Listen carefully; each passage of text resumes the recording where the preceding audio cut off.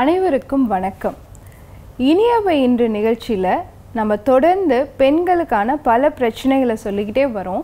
அந்த வகையில் இன்னைக்கு நம்ம பார்க்கக்கூடிய ஒரு விஷயம் வந்து பெண்கள் நிறைய பேர் வந்து வெயிட் லாஸ்க்காக நிறைய விஷயங்களை ட்ரை பண்ணிக்கிட்டே வராங்க.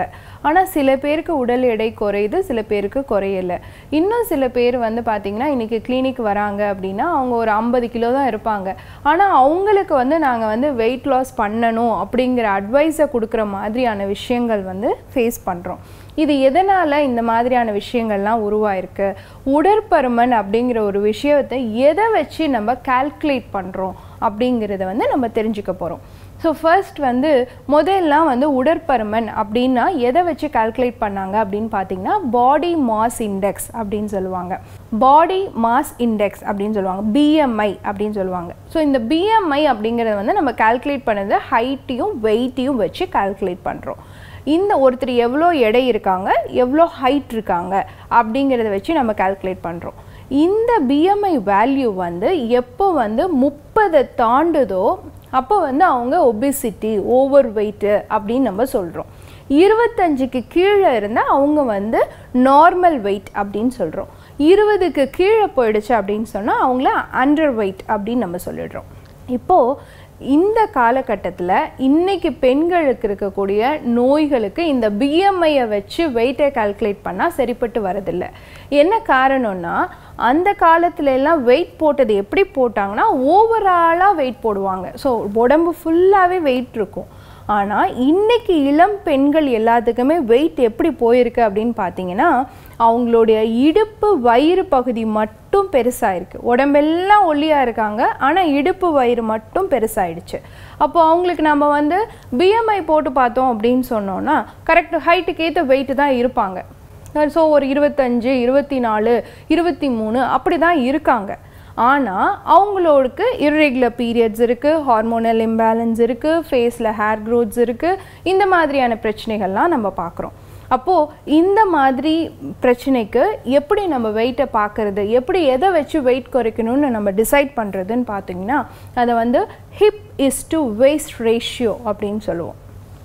ஸோ இந்த ரேஷியோவை வந்து நம்ம கால்குலேட் பண்ணுறோம் hip is to waist ratio அப்படின்னா என்ன அர்த்தம்னா வேஸ்ட் அப்படிங்கிறது வந்து நம்ம அம்பிளிக்கல் பட்டன் இருக்கு இல்லையா தொப்புள் இருக்கு இல்லையா அதுக்கு மேலே அதை சுற்றி நம்ம வந்து வெயிட்டை வந்து டேப் வச்சு நம்மளுடைய வே இதை வந்து அளந்துக்கணும் வேஸ்ட் வந்து அளந்துக்கணும். அதுக்கப்புறம் அதனுடைய அளவை மார்க் பண்ணிக்கிறோம். அடுத்து நம்மளுடைய இடுப்பு எந்த அள இடத்துல ரொம்ப பெரிய சுற்றளவாக இருக்கோ அதை வந்து நம்ம ஹிப் ரேஷியோன்னு சொல்லுவோம். ஸோ அந்த இடத்துல வந்து நம்ம டேப் வச்சு அளந்துக்கணும். இதை ரெண்டையும் வச்சு நம்ம ஒரு ரேஷியோ ஒரு கால்குலேட் பண்ணி பார்க்கும் பொழுது அதனுடைய டிஃப்ரென்ஸ் வந்து பாயிண்ட் எயிட் ஃபைவ்க்கு கீழே இருந்துச்சுன்னா அவங்க ஒபிசிட்டி பேஷண்ட் கிடையாது. அதுவே பாயிண்ட் எயிட் ஃபைவ்க்கு மேலே இருந்துருச்சுன்னு வச்சுக்கோங்களேன். நிச்சயமாக அவங்க வந்து வெயிட்டை கண்ட்ரோல் பண்ணணும் அப்படிங்கிற விஷயத்த நம்ம சொல்கிறோம் அப்போது ஏன் இதை நான் சொல்கிறேன்னா என் பொண்ணு வெயிட் ரொம்ப கம்மியாக தான் இருக்கா. ஃபிஃப்டி கேஜிஸ் தான் இருக்கா. ஆனால் அவளுக்கு இந்த பிரச்சனையெல்லாம் இருக்குதுன்னு ஒரு அம்மா கூட்டிகிட்டு வராங்கன்னா நீங்கள் வெயிட்டை குறையுமான்னு சொன்னால் அவங்க எங்கிட்ட கேட்பாங்க டாக்டர் என் பொண்ணு ஏற்கனவே ஒல்லியாக தானே இருக்காம்பாங்க.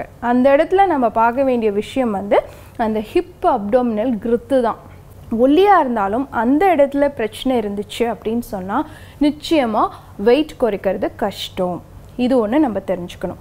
அடுத்து டயட்டிங்குங்கிற பேரில் நம்ம இன்றைக்கி பண்ணுற விஷயங்கள். சி ஃப்ரூட்ஸ் மட்டும் சாப்பிட்றோம். வெஜிடபிள்ஸ் மட்டும் சாப்பிட்றோம். அப்படிங்கிறதெல்லாம் நம்ம ஒரு பக்கம் இருக்கட்டும். ஒரு நாளைக்கு நம்ம எவ்வளோ கார்போஹைட்ரேட் எடுக்கணும்? எவ்வளோ ஃபேட் எடுக்கணும்? அதே மாதிரி எவ்வளோ வந்து நம்ம வந்து ஃபைபர்ஸ் எடுத்துக்கணும்? அதெல்லாம் கால்குலேட் பண்ணி தான் நம்ம எடுக்கணும். அப்போது குறைஞ்சபட்சம் ஒரு நாளைக்கு twenty to thirty percent carbohydrate கண்டிப்பாக நம்ம சாப்பிட்ணும். சுத்தமாக கார்போஹைட்ரேட்டே இருந் இல்லாமல் நம்ம இருந்தோன்னா மூளை வேலையே பார்க்காது. பிகாஸ் பிரெயினோட ஃபங்க்ஷனுக்கு வந்து குளுக்கோஸ் அதிகமாக தேவை. அதனால் கண்டிப்பாக நம்மளுடைய பாரம்பரிய அரிசி வகைகளை நம்ம சாப்பிட்றதுனால எந்த தப்புமே இல்லை. வெள்ளை அரிசி சாப்பிடாம போனாலும் பரவாயில்ல. நம்மளுடைய பாரம்பரிய அரிசிகளான சிறுதானியங்களை நம்ம எடுத்துக்கும் பொழுது கண்டிப்பாக ப்ரோட்டீன் தேவைய அளவு நமக்கு கிடைச்சிரும்.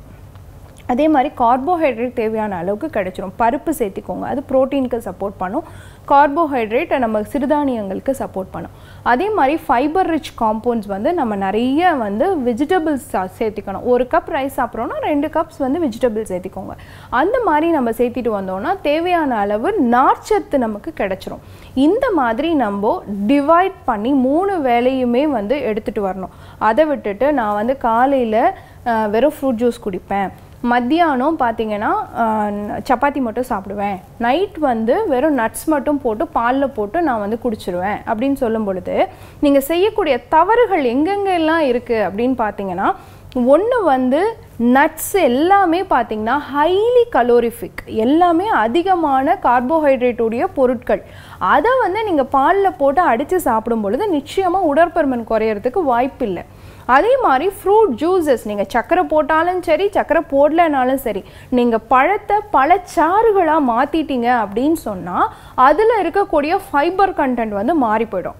அப்போது நீங்கள் ஜூஸாக குடிச்சிங்கன்னா அது உங்கள் யூரினோட அவுட்புட்டு நீங்கள் பழமாக சாப்பிட்டீங்கன்னா அது உங்களுடைய மோஷனோட அவுட்புட்டு ஸோ நீங்கள் மோஷனாக வெளியே தள்ளும் பொழுது தான் உங்கள் உடல் எடை குறையிறதுக்கான வாய்ப்புகள் அதிகம். அதனால் எந்த பழம் சாப்பிட்டாலும் சரி அந்த பழத்தை வந்து பழமாக கடித்து சாப்பிடுங்க. அதே மாதிரி ஹை கிளைசிமிக் இண்டெக்ஸ் ஃப்ரூட்ஸ்ன்னு சொல்லக்கூடிய பழங்களை அவாய்ட் பண்ணுங்கள் முக்கணி மா பழ வாழை கண்டிப்பாக வந்து உடற்பருமன் அதிகமாக இருக்கிறவங்க வந்து அவாய்ட் பண்ணணும். ஸோ இந்த மாதிரி டயட் சிஸ்டமை நம்ம கரெக்டாக ஃபாலோ பண்ணிகிட்டே வரணும். இன்னும் நிறைய பேர் செய்யக்கூடிய ஒரு விஷயம் வந்து பார்த்திங்கன்னா கார்ன்ஃப்ளெக்ஸ் சாப்பிட்றேன் ஓட்ஸ் சாப்பிட்றேன் கஞ்சி குடிச்சிக்கிறேன் காலையில் ராகி கூழ் மட்டும் குடிக்கிறேன் அப்படின்லாம் சொல்லுவாங்க. வெயிட் லாஸ் பண்ணுறதுக்கு இதெல்லாம் அவங்க செய்யக்கூடிய தவறுகள். இதெல்லாம் பண்ணும் பொழுது எப்படி வெயிட் குறையும்? கஞ்சிங்கிற ஃபார்மேட் வந்து ஹை கிளைசிமிக் இண்டெக்ஸ் இருக்கிறது. ஸோ நீங்கள் என்ன சாப்பிட்டாலும் நீங்கள் அது வந்து எல்லாமே போய் உங்கள் உடலில் கொழுப்பாக மாறிடும். ஸோ நம்ம வந்து ஜஸ்ட்டு சாலிடாக சாப்பிடும் பொழுது அது எனர்ஜியாக மாறும். இப்போ நீங்கள் வந்து சாப்பாடாக சாப்பிட்றதுக்கும் சாப்பாட்டை கரைச்சி குடிக்கிறதுக்கும் டிஃப்ரென்ஸ் இருக்குது சாப்பாட்டை கரைச்சி குடித்தா இமீடியட்டாக உங்களுக்கு எனர்ஜி கிடச்சிரும். அதே சாதமாக சாப்பிட்டா கொஞ்சம் கொஞ்சமாக எனர்ஜி கிடைக்கும். அந்த மாதிரி சாலிட் ஃபுட்ஸ் எடுக்கும் பொழுது தான் வெயிட் லாஸ்க்கு வந்து ஈஸியாக சப்போர்ட் பண்ணும். லிக்விட் ஃபுட்ஸ் எடுக்க எடுக்க எடுக்க உங்களுக்கு வெயிட் லாஸ் வந்து அவ்வளோ சீக்கிரம் கிடைக்கிறதுக்கான வாய்ப்புகள் இல்லை.